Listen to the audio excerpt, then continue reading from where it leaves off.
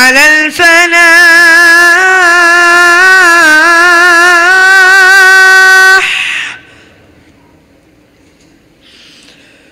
حي على الفلاح.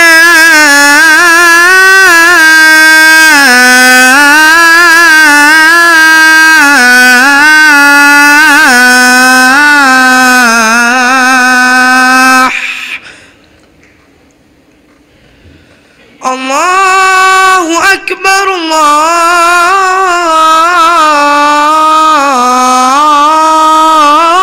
الله أكبر الله أكبر.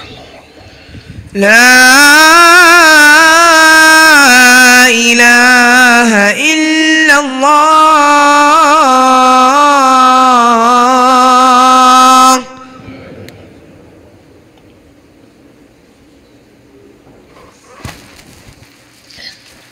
إن الحمد لله. الحمد لله نحمده ونستعينه ونستغفره ونؤمن به ونتوكل عليه. ونعوذ بالله من شرور أنفسنا ومن سيئات أعمالنا. من يهد الله فلا مضل له ومن يضلله فلا هادي له. أشهد أن لا إله إلا الله وحده لا شريك له. وأشهد أن سيدنا ونبينا وحبيبنا وخائدنا ومولانا محمدا عبده ورسوله. أرسله الله تعالى بالحق بشيرا ونذيرا. أما بعد فقد قال الله تعالى في القرآن المجيد فأعوذ بالله من الشيطان الرجيم بسم الله الرحمن الرحيم.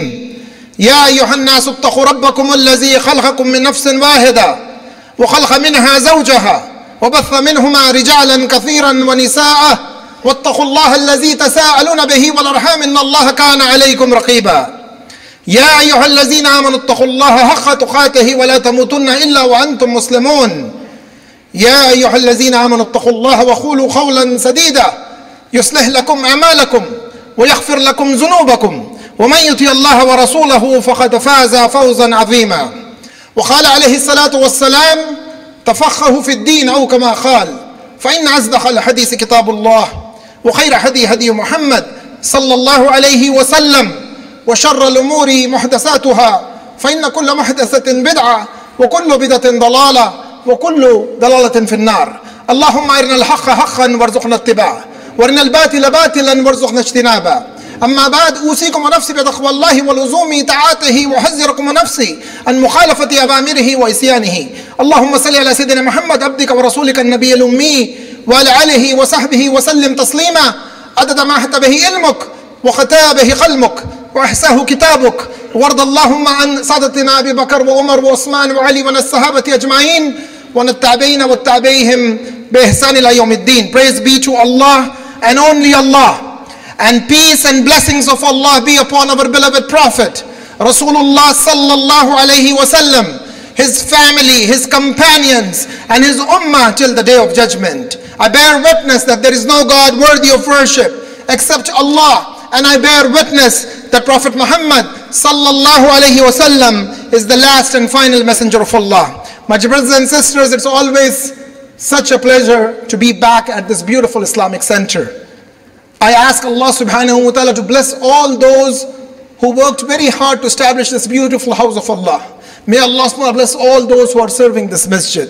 May Allah subhanahu wa ta'ala bless all those who populate this masjid. May Allah subhanahu wa ta'ala bless all those who have donated for this masjid. This masjid, mashallah, is a symbol of pride for the American Muslim community.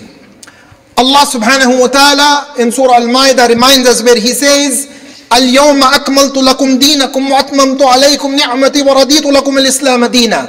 This day I have perfected your religion for you, completed my favor upon you, and have chosen for you Islam as your religion. Things may be complete but may not be perfect, and things may be perfect but may not be complete. This is a great blessing of Allah subhanahu wa ta'ala on all of us who has given us a religion which is complete and which is perfect. This, this means that there are no gray areas in this religion. There are no any doubts in this religion. And Allah subhanahu wa ta'ala has reminded us in this verse. So my dear brothers and sisters, I remind myself first and then to you, take a great pride in this fact that Allah subhanahu wa ta'ala has chosen you and me as the proud recipient of the Holy Quran. take a great pride in this fact that Allah subhanahu wa ta'ala has chosen you and me as the ummati of Rasulullah sallallahu alayhi wasallam. And we have an obligation and that obligation is to share the message of this, of this great religion and share the life of our beloved Prophet, Rasulullah sallallahu alaihi wasallam. We are not in the business of converting people. We are not missionaries. No human being has the power to change anyone's heart or mind. The hidayah only and only comes from Allah subhanahu wa ta'ala. Our job is to strive in His path and share the message of the Quran and the life of the Prophet sallallahu alaihi wasallam. And Allah subhanahu wa ta'ala is reminding us again in the Holy Quran where He says, عدو إلى سبيل ربك بالحكمة والموعظة الحسنة وجادلهم بالتي هي أحسن إن ربك هو أعلم بمن ضل عن سبيله وهو أعلم بالمهتدين Invite mankind all to the way of your Lord with wisdom and beautiful preaching and argue with them in ways that are best and most gracious. Truly, your Lord knows best who have strayed from his path and who receives guidance. My dear brothers and sisters, today I picked a very contemporary topic. Instead of focusing on a theological topic, for last 11 weeks I have been giving khutbahs on this particular topic and inshallah I will continue to do that for the coming several weeks. This last one year has been extremely challenging year for American Muslims. We have seen a tremendous amount of rise in hate, in bigotry, in Islamophobia, individuals who would say things in their living rooms and in their bedrooms were coming out in public domain and were making irresponsible statements. Many statements of politicians, and certain biased media outlets were extremely, extremely difficult and very painful. So on this blessed day of Jummah, at this very blessed time, I want to remind you all that we all must accept the good and the bad that happens. This is part of Allah's plan. وتعز من تشاء وتذل من تشاء بيدك الخير إنك على كل شيء قدير It is He Allah subhanahu wa ta'ala Whoever He wills He will bestow the honor on them and whoever He wills He will abase them in His hand is good and He is able to do everything so my message to you on this very blessed day at this very auspicious and blessed time is that do not despair do not despair because the pain the anxiety, the fear, the shock is all natural. However, we shouldn't let that pain, anxiety, and fear paralyze us from doing good, establishing justice, and being civically engaged.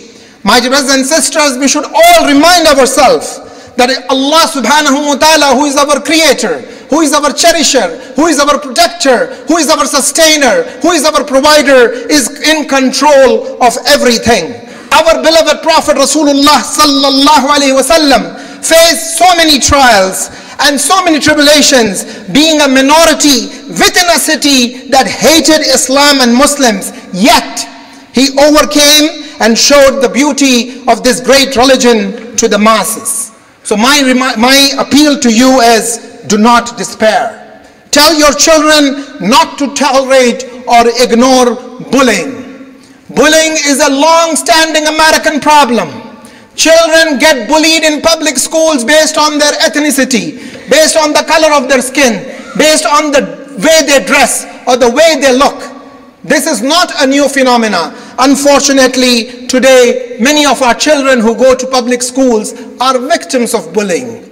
As a parent, you should prepare yourself to convey the right message to these children. Comfort them, console them. Do not put this issue under the carpet. Ex escalate this situation if your child is getting bullied in school. Go to the teacher, go to the principal. If they don't listen, escalate to the school board. If they don't listen, go to the media. If they don't respond to you, go out in public and protest but do not take this issue for granted. Same rule applies to